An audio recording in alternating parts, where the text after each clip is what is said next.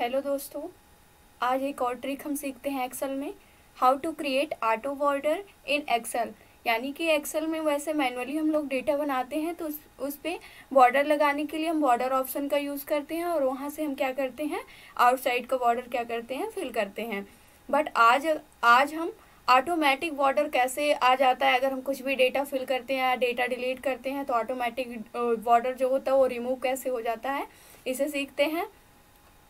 आज की trick start करते हैं हम। सबसे पहले इस ऑप्शन का यूज़ करने के लिए आपको जितनी क्राइटेरिया में बॉर्डर चाहिए हो, यानी कि जहाँ तक आप डेटा लिखना चाहते हो, वहाँ तक आप रेंज क्या करेंगे? सेलेक्ट कर लेंगे। यानी कि अगर आप पूरी सीट में चाहते हैं तो पूरी सीट आप सेलेक्ट कर लेंगे।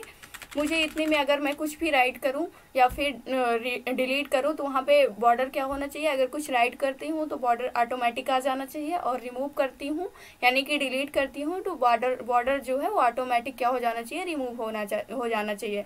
तो इसके लिए हम सबसे पहले क्या करेंगे? अपने एरिया को सिलेक्ट करेंगे, उसके बाद कंडीशनल फॉर्मेटिंग पे जाएँगे न्यू रूल ऑप्शन पे जाएँगे, उसके बाद use a formula to determine which cells of format इस लास्ट वाले ऑप्शन को लेंगे, उसके बाद format values where this formula is true आप इस वाले ऑप्शन में क्या करेंगे? इक्वल लिखेंगे, उसके बाद इसमें से आप कोई भी एक सेल ले लेंगे। यहाँ से सिलेक्ट कर लेंगे। मैंने फ़र्स्ट वाली ही ले लिया। उसके बाद क्या करेंगे? Less than and greater than उसके बाद double inverted comma open and close उसके बाद करना क्या है मुझे? यहाँ पे जो डॉलर का सिंबल दिख रहा है, इसे आपको हटाना होगा। डॉलर के सिंबल को मैंने क्या कर दिया यहाँ से? रिमूव कर दिया। दोनों डॉलर के सिंबल को रिमूव करेंगे। उसके बाद क्या करना होगा? फॉर्मेट वाले ऑप्शन पे क्लिक करेंगे। यहाँ से आउटलाइन, यानी कि बॉर्डर वाले ऑप्शन पे जाएँगे। इसमें आउटलाइन पे क्लिक करेंगे। उसके बाद ओके कर देंगे।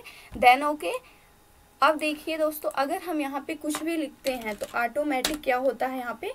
बॉर्डर आ जा रहा है। मैंने यहाँ पे कुछ भी लिखने टाइप करने की कोशिश की। इसके बाहर जहाँ मैंने इस फार्मूले का यूज़ नहीं किया, वहाँ पे अगर हम कुछ लिखते हैं तो ऑटोमेटिक बॉर्डर नहीं आ रहा है। बट यहाँ पे जितनी क्राइटेरिया मैंने दी थी, वहाँ पे अगर मैं कुछ भी टाइप करती हूँ तो वहाँ पे क्या हो जा रहा है? बॉर्डर ऑटोमेटिक आ जा रहा है। अगर मैं इसमें से कुछ डेटा को डिलीट भी करती हूँ तो बॉर्डर क्या हो जाता है? मैंने इसे डिलीट कर दिया तो यहाँ से बॉर्डर क्या हो गया? ऑटोमेटिक रिमूव हो गया। आशा करते हैं आज की वीडियो आपको पसंद आई होगी। वीडियो अच्छी लगी हो तो लाइक करना, शेयर करना, हमारे चैनल को सब्सक्राइब करना। Thanks for watching this video.